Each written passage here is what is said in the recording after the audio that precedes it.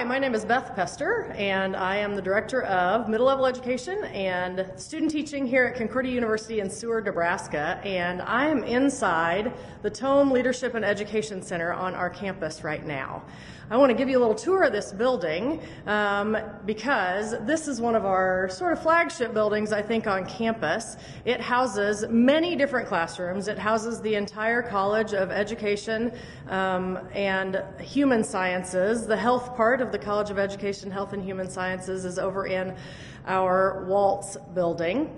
Um, the education program here at Concordia uh, has it's a it's a large program, and if you know something about Concordia's history, you know that the education programs have been around for a long time. In fact, the name of this institution used to be Concordia Teachers College.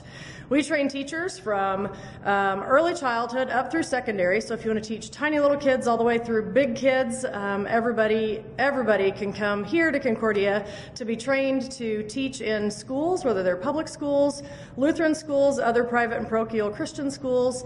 Um, everybody, everybody can come here and get a fantastic education. Here in this building, I'm going to give you just a little bit of a look. This is the entryway to uh, Thom. It has a north and a south entrance. You'll notice actually along the wall that's um, in front of me right now, a really cool art installation.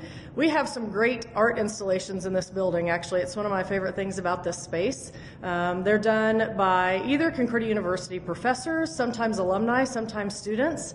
Um, sometimes it's uh, students actually who've been part of our education, our art education program.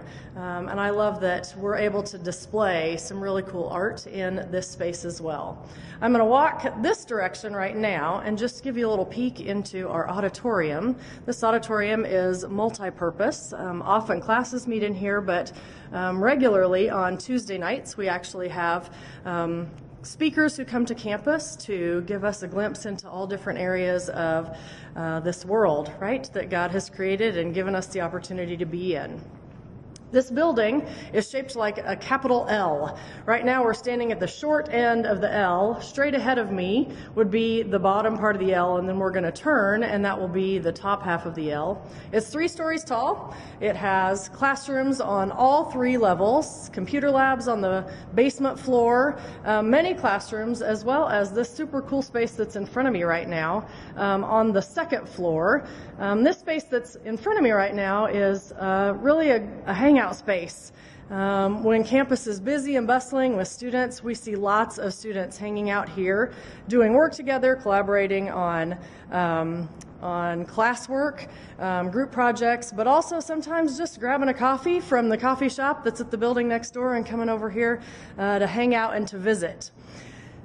Down the hallway that is now in front of me, where I'm facing, is the top part of the L of this building. I'm going to walk down there in just a minute, but before I get down there, I actually want to walk over here.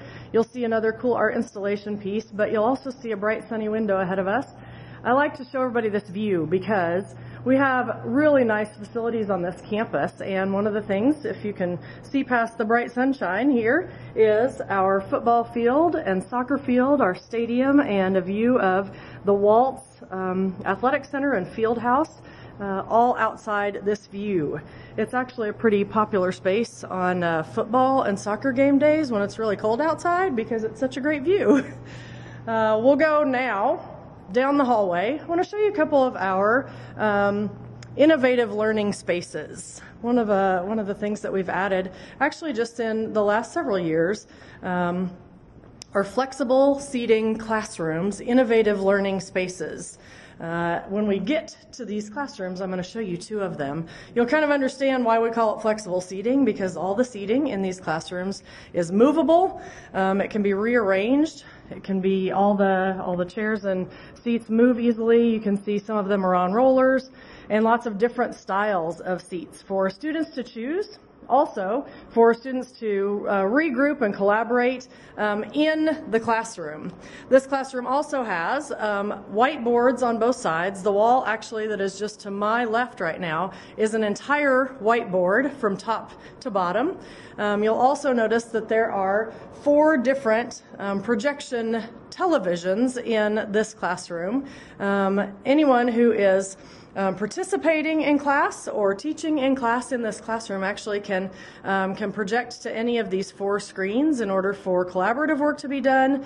The screens do not have to have um, the same the same picture on them. They actually are connected to individually, and so if you're doing some kind of collaborative work, your group actually can use your own individual screen in order to put um, presentation slides together, um, or you know work on building a website, something like that.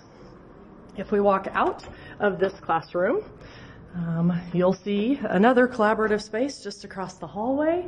Uh, and we're going to walk over here real quick so that you can see that. You'll also notice in the classroom we just left, in the classroom we're in now, there are also high top tables to allow for um, different levels of seating. Um, and that's kind of a, it's kind of a cool way to learn actually, to be able to choose your seats, to be able to move around, to work with your classmates, um, and, you know, do some really awesome collaborative work when you have that opportunity, but also get some great instruction because of the learning spaces that are provided in these, in these classrooms themselves. I spoke just a little bit about the education programs. We do train teachers to, um, to be early childhood teachers, uh, an early childhood program, uh, but also an early child, childhood endorsement that can be put together with um, elementary ed. Our elementary ed program um, is the next level, then middle level, secondary. We also offer ESL or ELL to teach uh, students who have English as a second language, as well as special education. Um, the early childhood program trains people to teach students from birth all the way through third grade. Um, elementary ed is kindergarten through sixth grade. It includes seventh and eighth grade, depending on the arrangement of the, um, the classroom and the school that you're working in. Also, we have um, a middle level education program which uh, trains students to teach grades 5 through 9, and you choose a specific um, a specific content area that you want to specialize in math, science, social studies, or language arts. And then secondary ed actually trains you to teach from uh, seventh grade through 12th grade, also choosing a subject area. Lots of different subject areas or possibilities in our secondary ed program, um, including some special endorsements if you'd like to get involved in coaching, if you'd like to do extracurriculars with journalism, the yearbook, and newspaper in schools. We have supplemental endorsements that also, um, that also uh, are able to be earned here at Concordia. This building also houses our psychology department and our sociology department our innovative um, education spaces and innovative education directors actually have offices in this space and work with students all across every program in our on our campus. So even if you uh, don't have an interest in studying psychology, sociology, or um, education, uh, you can connect with our our innovative education directors here if you need some help putting together some kind of presentation for a class or doing something. Even if you are um, a science major or an English major, they're here to help as well. We're back where we started, right here at the entrance of the auditorium and the entrance of the Thom Leadership and Education Center. Uh, really excited about uh, you being interested enough to click on this video. We hope that sometime in the future you, uh, you take the chance to come visit us in person as well. We got a beautiful campus and we really love to show it off. We'd love to have you here so that we can um, get to know you better and see if this is a great fit for you. Thanks.